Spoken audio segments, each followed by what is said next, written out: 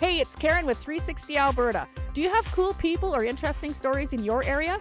Contact us, we'd love to feature them in one of our videos. So email us at news at 360alberta.com.